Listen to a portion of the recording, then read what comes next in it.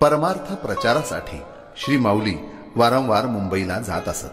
नारळवाडी माझगाव येथे श्री नारायण गोपाळ शिंदे शेठ यांनी माऊलींच्या पारमार्थिक कार्यासाठी स्वतःची जागा श्री माऊली चरणी अर्पण केली. तेथे श्री माऊलींचे सप्ताह होत असत. एकदा या सप्ताहासाठी नाव्हाखाडी तालुका पनवेल येथील काही भाविक मंडळी उपस्थित राहिली. त्यांनी श्री माऊलींना आपल्या गावी येण्याचा आग्रह केला आणि आपल्या भक्तांनी केलेली प्रेमा आग्रहाची विनंती श्री माऊलींनी मान्य केली आणि सर्व शिष्य मंडळी श्री माऊली सोबत होडीत बसून सागरी मार्गाने मार्गस्थ झाली. होडी समुद्राच्या मध्यावर आल्यावर अचानक होडीला एक छिद्र पडले आणि त्यातून पाणी आतमध्ये येऊ लागले. तेव्हा सर्व लोक भयभीत झाली. पण श्री समर्थ सद्गुरू श्री बाळकृष्ण माऊलींनी आपल्या पायाचा अंगठा त्या छिद्रावरती ठेवल्यावर पाणी थांबले आणि पुढील अनर्थ टळला. प्रवास सुरक्षितपणे पूर्ण झाला. त्यावेळी श्री माऊलींसोबत मचवा प्रमुख अर्थात नाखवा श्री चांगू कान्हा ठाकूर हरी कान्हा ठाकूर अनंत जोमा ठाकूर श्री नामदेव जोमा ठाकूर वामन आंबू ठाकूर नामदेव देहू ठाकूर श्री माणिक सखाराम ठाकूर हासुराम सुदाम ठाकूर आणि त्यांच्यासोबत खलाशी म्हणून सावळाराम रामजी ठाकूर केशव विष्णू ठाकूर बळीराम कृष्णा ठाकूर हरी सीताराम मोकल विठ्ठल पांडुरंग ठाकूर शांताराम बाळू ठाकूर लहू रामजी ठाकूर ही भक्त मंडळी उपस्थित होती. ह्या सर्वांनी श्री समर्थ सद्गुरू बाळकृष्ण महाराज की जय. असा जय जयकार केला.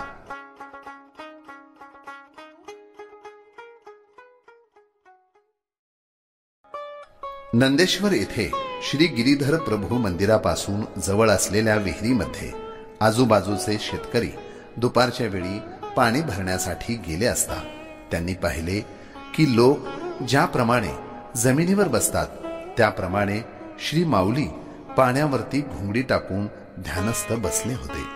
हे दृश्य पाहून श्री माऊली कुणी सामान्य व्यक्ती नसून लोककल्याणासाठी जन्मास आलेले अवतारी पुरुष आहेत याची सर्वांना प्रचिती आली. पृथ्वी आप तेज वायू आणि आकाश ही पंचमहाभूते सत्पुरुषांच्या अधीन असतात याचा प्रत्यय आला.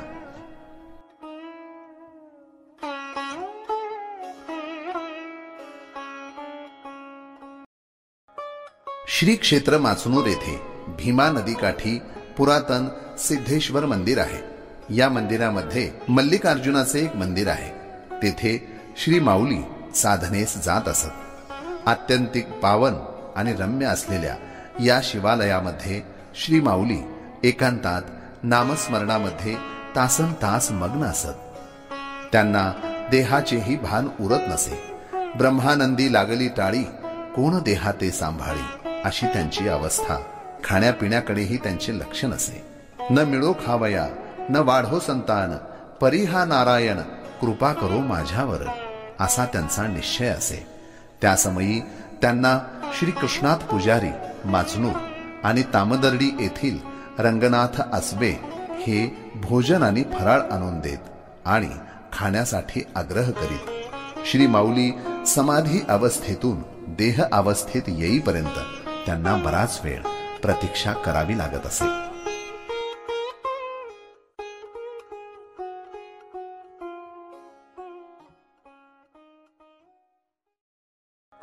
श्री परशुरामजी कलाल यांचे आग्रहास्तव महाराज गुडगेरीस आले ज्या ज्या ठिकाणी महाराज जात त्या त्या ठाई भक्तांच्या श्रद्धेला उधाण येत असे. गाव लता पल्लवांनी सुशोभित करीत दारी सडा रांगोळ्या टाकीत मोठी मिरवणूक काढीत सुवासिनी ओवाळीत संपन्न नामसप्ताह होई अन्न संतर्पण तर नित्यच भेटी गाठी तरी नित्यच ज्ञानी अज्ञानीच नव्हे तर विषयी भ्रांत पामरासही महाराजांच्या केवळ पुण्यवान दर्शनाने अंगी ब्रह्मा भाऊ दाटत असे. ज्ञानराजांनी याची निशाणी सांगितली आहे. जयाचे नाम तीर्थ राहो दर्शने प्रशस्तीसी ठावो जयाचे निसंगी ब्रह्मभावो ही श्री ज्ञानेश्वरी. गुडगेरीस असतानाच महाराजांना पोहण्याची लहर आली. तेथे एक तलाव होता पण तेथे कोणाला पायही बुडवू देत नसत. पण श्री कलाल हे स्वतःच नगराध्यक्ष असल्याने त्यांनी सर्वानुमते महाराजांना पोहण्यास परवानगी दिली. भक्तासह महाराज तलावात पोहण्यास गेले. जलक्रीडा चालू झाली. महाराज दूर गेले आणि काष्ठवत पडून राहिले. बराच वेळ झाला. लोकांना वाटले महाराजांवर दैवी प्रकोप झाला. त्यांना काय माहीत? सत्पुरुष सर्वच प्रकोपापासून मुक्त असतात. अहो येथे कोणीच येत नाही त्याचा हा परिणाम. काठावरील भक्त मंडळी देवाचा धावा करू लागली. कानडीत देवाला अळवू लागली. एवढ्यात महाराज जलक्रीडा संपवून काठावर आले. जय जयकार झाला. या विशेष प्रकाराचा बोलबाला झाल्याने महाराजांच्याकडे येणाऱ्यांची संख्या अधिक अधिक वाढू लागली. साखरेच्या आसपास मुंग्या मुंगळे गोडीच्या आशेने येणारच. येथेही परमार्थ गोडी परिमळत होती.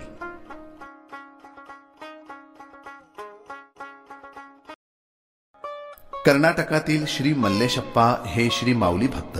रेल्वेने प्रवास करीत असता रेल्वेचा मोठा अपघात झाला. रेल्वेचे डबे एकावर एक आपटले. त्यामुळे अनेक लोक चिरडले गेले. परंतु मल्लेशप्पाचे नामस्मरण चालू असल्यामुळे त्यांना श्री माऊलींनी सुखरूप बाहेर काढले. सद्गुरू सदैव आपल्या भक्तांचे रक्षण करत असतात. तया मागे पुढे रक्षी नारायण मांडल्या निर्वाण उडी घाली. हे संत तुकाराम महाराजांचे वचन श्री माऊलींनी सिद्ध करून दाखविले.